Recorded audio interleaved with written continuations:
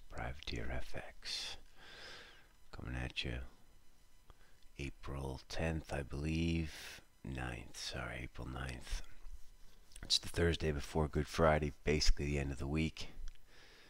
We kind of have an interesting calendar today. Um, we got Powell speaking. We get jobless claims, which will be a shocking number. PPI, Canadian employment data. We've got OPEC screwing around on some video conference. And then we have ECB minutes. Uh, so, you know, news, economic news has been sort of secondary because it's all just expected to be rubbish. Uh, but we will be watching a lot of this stuff today.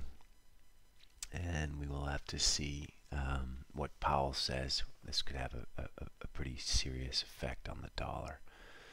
So, heads up. Heads up for that. Uh, let's take a look at the currencies first, then we'll go into stocks and crude.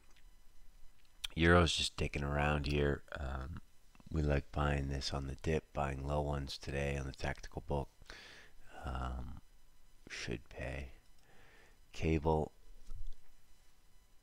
you know, worried about uh, Boris. Um, you know,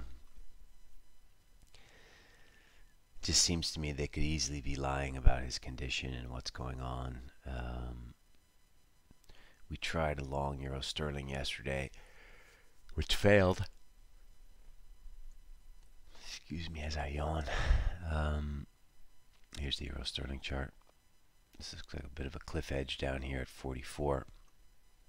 Um, but, you know, there's no reason you can't just have a stop on the top side. So for us, we're just going to have a stop at 88 to figure. And if that stop gets done with news, we'll manage it. And if it gets done without news, we will also manage it. Sort of with the idea that if Boris goes into a critical situation, we want to be long euro sterling. We will manage it. If the stop somehow gets done and it's not that piece of news, you just square it, right? No drama if you're quick and if you're a professional, you can you can manage that and square it um, with pretty low risk. So that's our Boris strategy. Uh, dollar Swiss, same thing. Uh, yesterday we talked about selling up towards 40. Today uh, we're going to talk about the same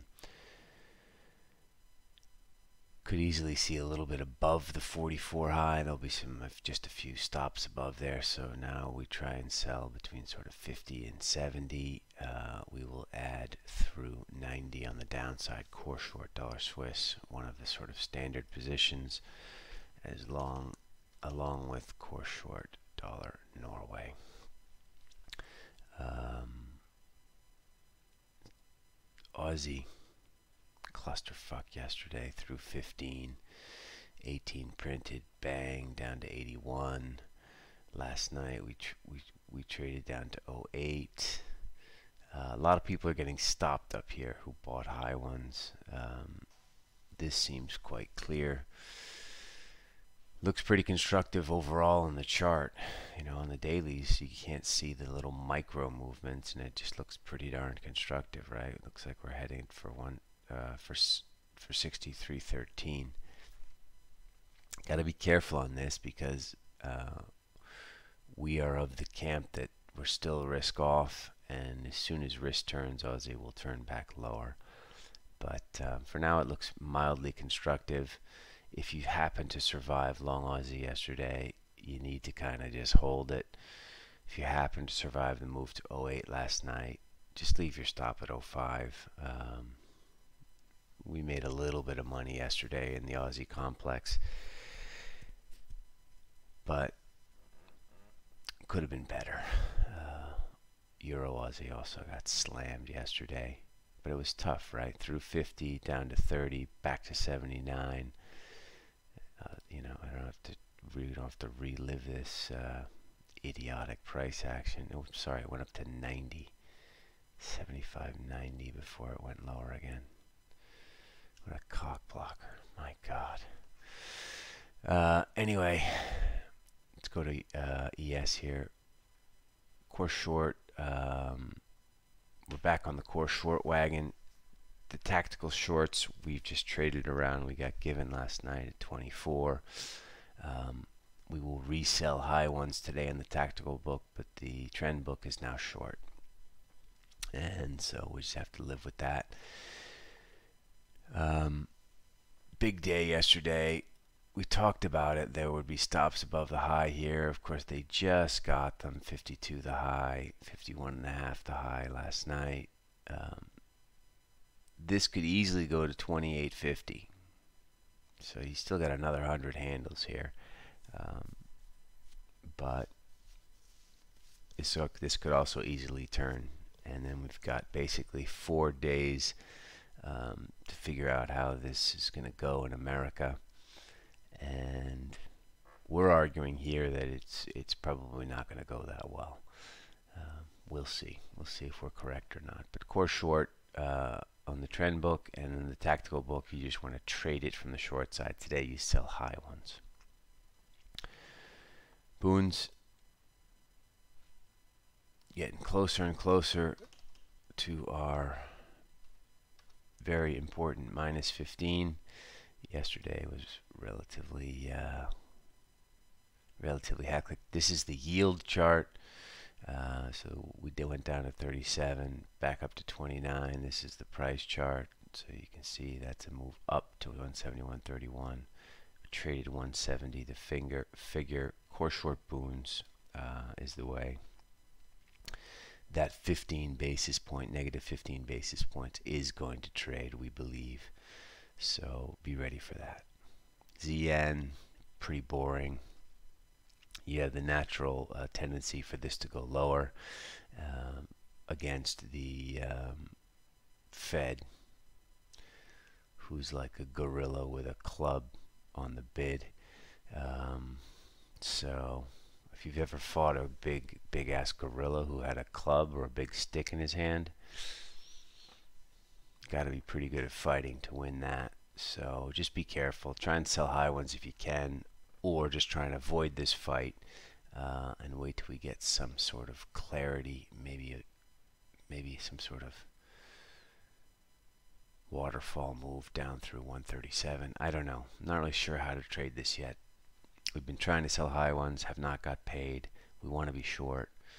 Uh, maybe a put spread. I don't know. All you, for all you smart ass fuckers out there, you know, put on some derivative structures or something. That's probably the, probably the way to express this. Crude, uh, you know, they're going to come out and cut 10 million a lot of people are saying we need to cut 40 million barrels per day to uh, neutralize the demand destruction. But listen, demand destruction um, is priced. You know, how many million barrels of demand destruction are priced in at 25 bucks? Uh, the point is, is there's going to be something constructive today. Uh, I would assume this is incredibly hard to trade. Um, not sure what to do with it. But OPEC today on uh, some sort of video conference. We'll have to see. We'll have to see what goes on there. Uh, finally, dollar CAD. We got Canadian unemployment today. We we did get paid yesterday, being short dollar CAD. Now today we're just square. Uh, tactical book. Well, wait and see how bad these numbers are. Again, it's like hard to trade these numbers. It's like we all know they're going to be bad, but how bad are they going to be? So we shall see. ECB minutes as well. Uh, you just got to be nimble. Got to keep your eye on things. Um, so today is really going to be a headline watching day and a news listening day.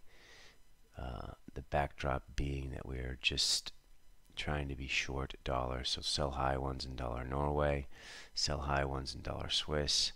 Uh, try and buy some low ones in euro if if if you prefer that uh, that horse, and core short equities.